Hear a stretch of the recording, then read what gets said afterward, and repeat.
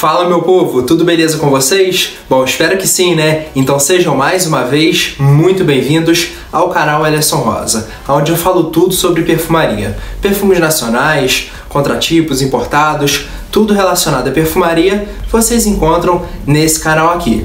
E nesse vídeo eu trago a resenha completinha de um inspirado no Creed Aventus. E eu tô falando do Black Creek de La Rive. Mas e aí, será que é muito parecido? É isso que vocês vão saber no vídeo que está começando agora. Mas antes, já deixa aquela pancada, aquele murro no like e se você ainda não é inscrito no meu canal, não perde mais tempo. Já se inscreva, ativa as notificações e assim você fica por dentro de tudo que acontece por aqui. Então, sem mais delongas, vamos lá para o que interessa.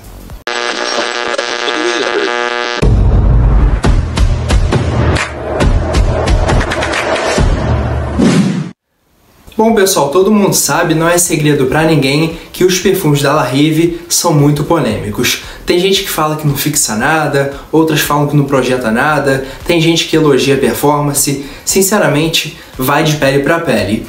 Mas nesse ano de 2020, a La Rive chocou o mundo da perfumaria, porque eles lançaram esse camarada aqui que é inspirado no King Aventus, um perfume de nicho caríssimo que todo mundo já conhece ou pelo menos ouviu falar alguma vez na vida. Então deixa eu mostrar o frasco para vocês, que ficou realmente muito bonito.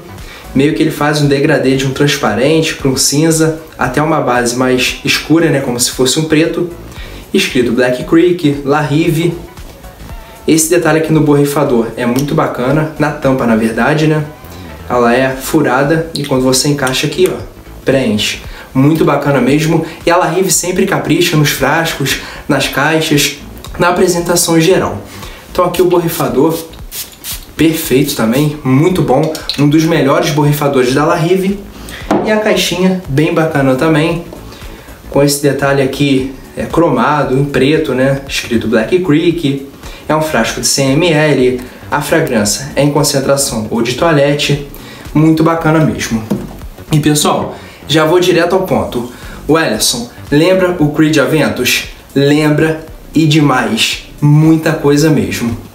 Assim que ele toca minha pele, eu consigo sentir esse aspecto frutado, cítrico, de bergamota, groselha negra.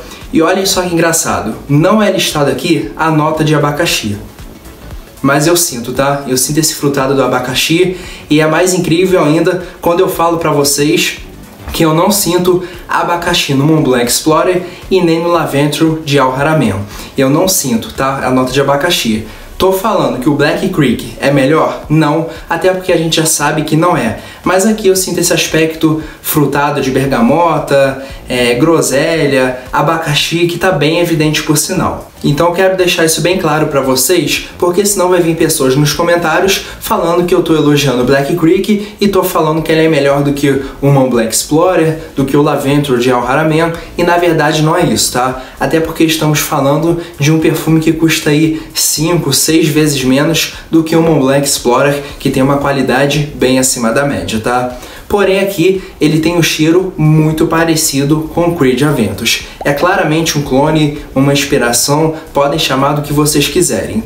Aqui nas notas de coração a gente tem essa pegada mais floral, com rosa, jasmim, o vidoeiro tá presente aqui, mas assim, ele tem algo que simula o ambergris, tá pessoal? Não dá para utilizar ambergris é, num perfume que custa menos de 100 reais, tá? Então é óbvio que ele tem algumas substituições de matérias-primas, podemos dizer assim. Mas você sente esse toque cítrico, frutado no começo, esse toque floral bem sutil, bem agradável, o vidoeiro, você sente algo aqui que simula esse ambergris, é realmente muito parecido, cara. É claramente um clone do Creed Aventus. E para fechar aí nas notas de base, a gente tem uma pegada, digamos assim, um pouco mais encorpada. Musgo de carvalho, âmbar, baunilha que traz uma leve adocicada, que inclusive está presente lá no perfume da Creed. Vamos ter aqui também o Almíscar, é um perfume bem almiscarado, macio, limpo, confortável. E pessoal, é realmente muito, mas muito parecido mesmo, tá? Temos a estrutura olfativa do Creed Aventus aqui dentro desse frasquinho que custa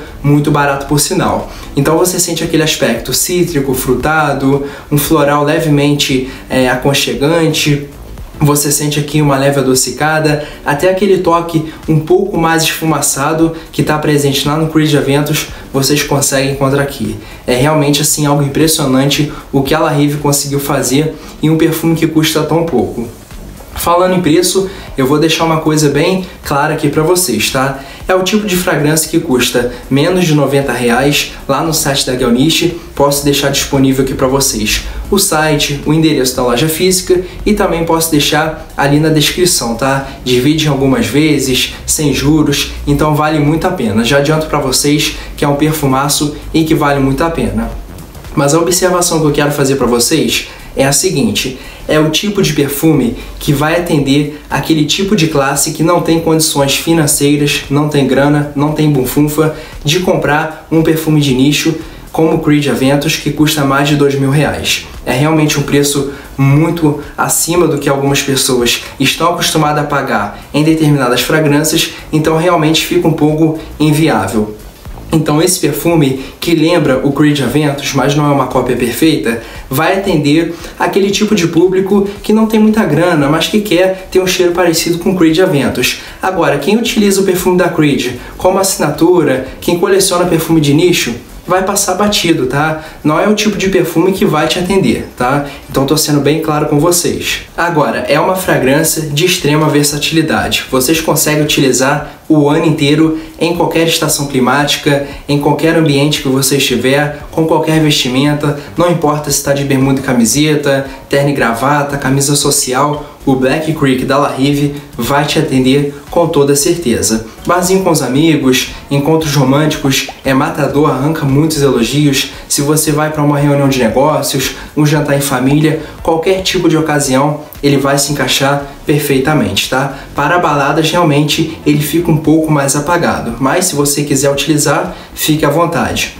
Agora, em relação à performance, é, faz jus a La Rive, tá? Não tem jeito projeção de uma hora moderada, ele não deixa tanto rastro assim, mas quem chegar numa distância de um metro e meio para conversar com você vai sentir o cheiro dele, depois ele fica mais gente a pele e fixa em torno de 5 horas, podendo chegar até 6 horas, mas é muito difícil, tá? Eu estou considerando as 5 horas, que é o tempo que ele fixou na minha pele. Agora, se vocês utilizarem numa temperatura mais baixa, no dia de inverno, digamos assim, pode ser que ele segure mais na pele. Isso aí varia muito e vocês que têm que me dizer aqui nos comentários como foi a performance desse perfumaço aqui na pele de vocês.